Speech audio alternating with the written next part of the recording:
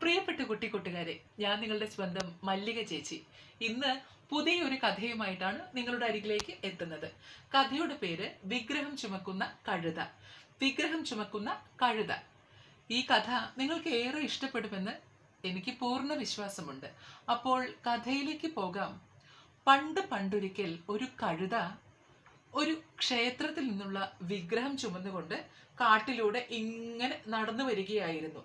അപ്പോൾ കാണുന്നവരെല്ലാം ഈ വിഗ്രഹത്തെ കണ്ട് തൊഴാൻ തുടങ്ങി. ചിലര് പൂജിക്കാൻ തുടങ്ങി. ചിലരോ മന്ത്രോച്ചാരണങ്ങളും തുടങ്ങി. അത് കണ്ടപ്പോൾ ഈ കഴുത കരുതി തന്നെയാണ് ഈ ആളുകളൊക്കെ ഇങ്ങനെ ബഹുമാനിക്കുന്നതെന്ന്. അപ്പോൾ കഴുതയ്ക്ക് എന്തായി? കഴുതയ്ക്ക് അഹങ്കാരം വന്ന് ഭവിച്ചു. അങ്ങനെ കഴുത.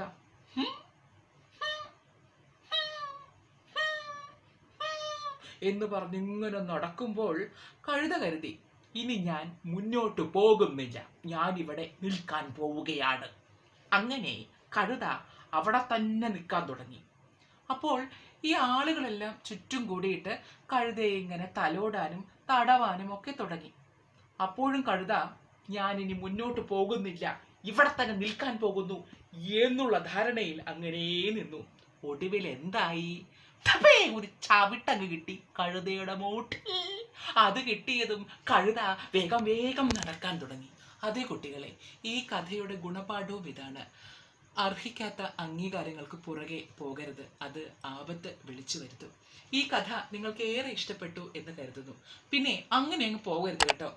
നമ്മുടെ ചാനൽ മറക്കാതെ സബ്സ്ക്രൈബ് ചെയ്യണം. പുതിയ പുതിയ കഥകൾക്കായി ഗുണപാഠങ്ങളുള്ള കഥകൾക്കായി എല്ലാ തിങ്കളാഴ്ചയും നമ്മുടെ ഈ ചാനലിൽ വരുന്ന പുതിയ പുതിയ കഥകൾക്ക് വേണ്ടി കാത്തിരിക്കുക.